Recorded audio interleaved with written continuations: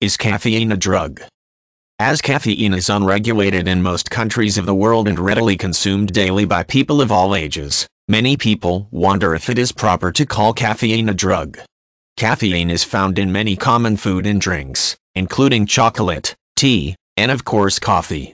It is a stimulant with observable effects on the brain and nervous system and addictive qualities as well. Thus, it is perfectly proper to call caffeine a drug, even though it does not have the social stigma associated with most non-prescription drugs.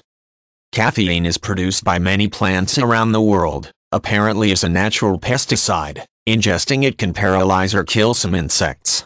The use of the coffee bean as a stimulant was a closely guarded secret in ancient Ethiopia, although a similar effect from tea was already well known in China. These substances became important to international trade and commerce in the age of exploration and after.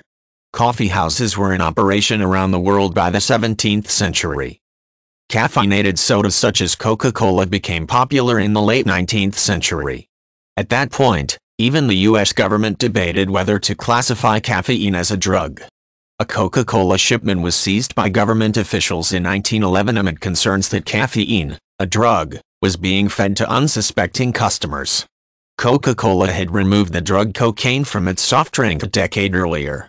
The Coca-Cola company was cleared of any wrongdoing, but thereafter food and drink manufacturers were required to list caffeine in product labeling, as it was a habit-forming substance. Another factor to prove caffeine a drug is its effect on personality and behavior.